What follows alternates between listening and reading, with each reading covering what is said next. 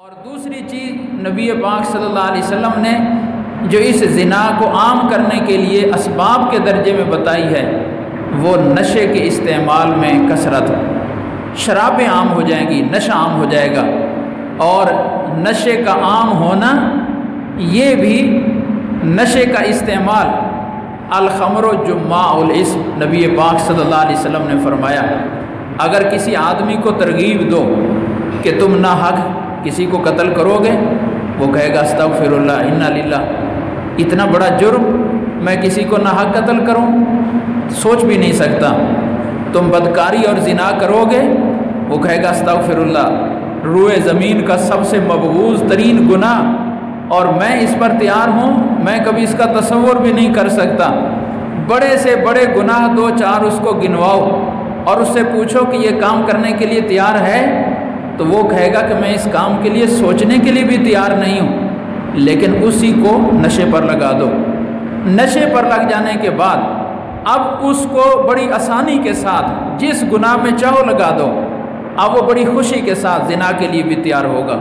इसलिए कि अब उसकी अकल पर पर्दा पड़ गया है। कत्ल नाहक के लिए भी तैयार होगा, डाके के लिए भी तैयार होगा।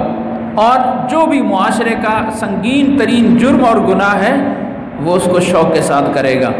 ये माना है अलखमरजुम्मासम कि शराब और नशा तमाम गुनाहों का मजमू है और नबी पाक सल्लल्लाहु अलैहि वसल्लम की पेशीन गोई है कि क़्यामत के करीब शराब नाम बदल कर आम हो जाएगी।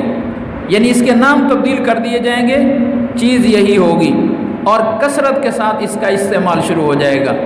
और आज हम देख रहे हैं, हुजूर सल्लल्लाहु अलैहि वसल्लम की वो पेशीन गोई पूरी हो रही है और कसरत के साथ ये चीज़ फैल रही है और इसको संजीदा तबके की एक ख़ास मशरूब और उनकी महफलों की जीना समझा जाता है कि जितने खाते पीते घरानों के बड़े लोग होंगे, वो इल्ला माशा वरना सारे ही इस नशे की मर्ज़ में मुबतला हैं। और जब नशे की मर्ज़ में मुबतला हैं तो इसके जो फिर सात लवाजमात हैं, बेहयाई और बुराई के, डाके और चोरियों के और कत्ल नहा के कोई होगा उनमें से जो इन जराइम से बचा हुआ हो, वरना वो इन कभी इन, उनका घर इन जराइम का मरकज़ होता है।